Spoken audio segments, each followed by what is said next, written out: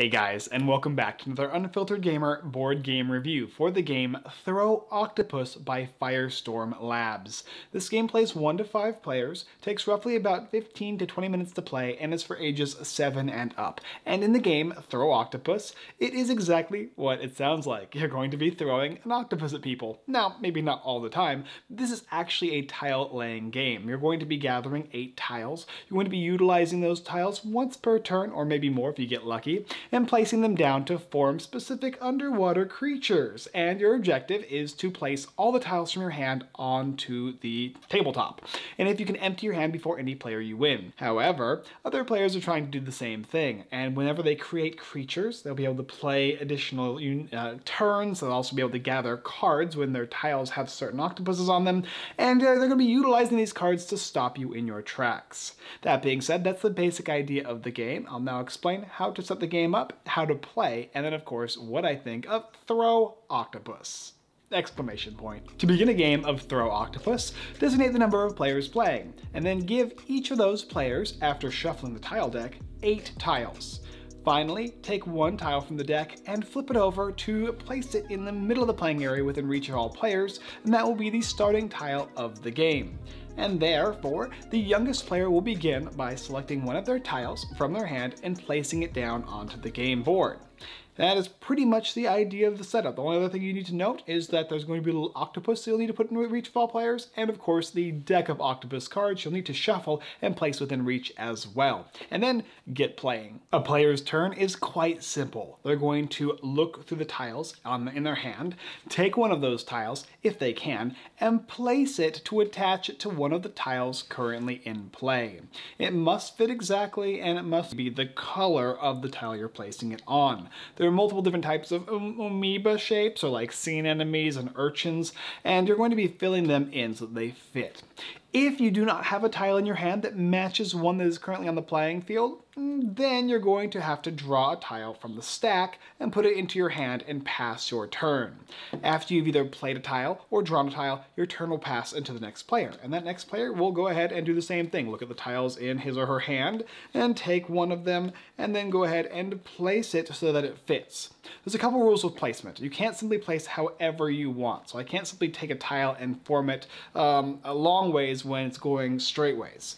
Um, and it has to always be able to match exactly. So this tile here would not actually work as far as placement goes. Uh, but if I had a tile that was basically allowing me to connect it in some way, like for instance this one here, it connects perfectly, uh, that is going to work. And they have to literally match up exactly on the mark. If they don't look like they match, then they're probably not a match.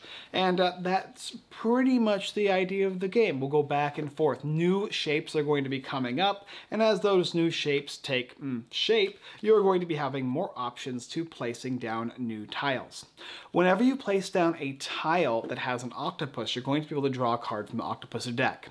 And when you do that, it's a card that you can either save or utilize. Now this one here is a tile party, which means that all players except for me have to draw a tile, which is great because my objective is to make every player have tiles remaining in their hand, but for me to empty my hand.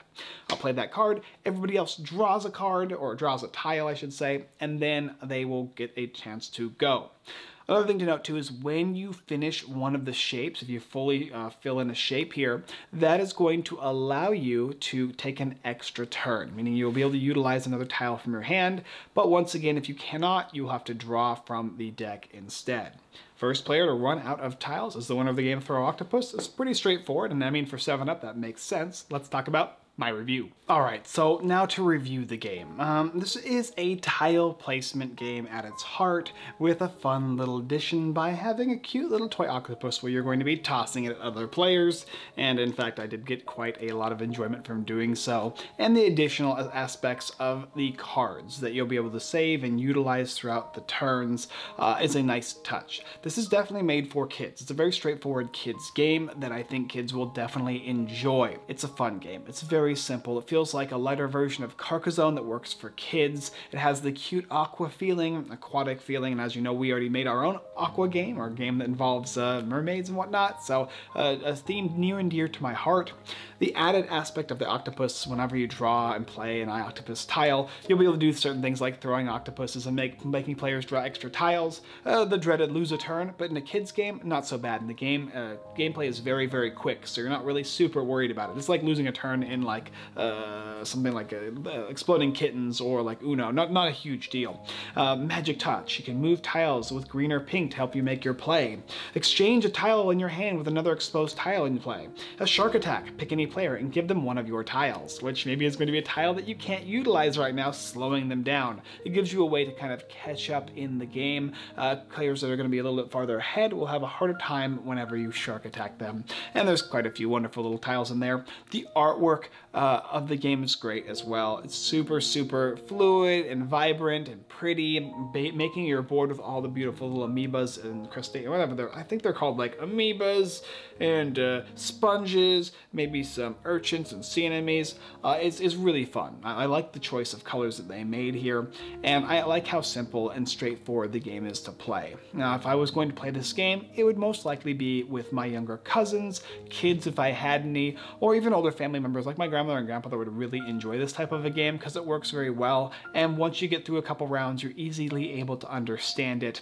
And there's a lot of choice in the game and a lot of strategy that can be made as well. And of course, another thing to note too is when you're building shapes, you can't turn them sideways. You can't have one like this and connecting like this or like this. They must align like this. So you're constantly making sure that they all fit perfectly and neatly to make those perfect shapes to create an amoebas not a huge gripe, but it's something I think definitely kids will will goof up on at the beginning of the game, especially on their first game. They're not going to understand what types of shapes that they have to make. And so explain that, maybe not in the quick start rules, but maybe there'll probably be a rulebook, rulebook in the game that will explain that better. But for the most part, I think most of you modern gamers out there, people who've seen a lot of my videos, would kind of have an idea of how this game is already played and understand the function of it. And if it's something for you, you can go ahead and choose to go take a look down below, link in the description for you to pick up the game, Throw Octopus. For us, it's a solid family and kid game. Uh, most people who like Carcassonne or maybe um, Kingdomino, it's gonna kind of fit into that realm, but it is a light, a lot lighter than those, so be aware of that.